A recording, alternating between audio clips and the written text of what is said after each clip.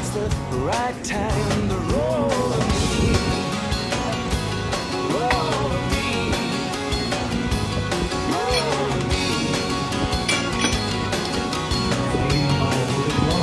Roll me.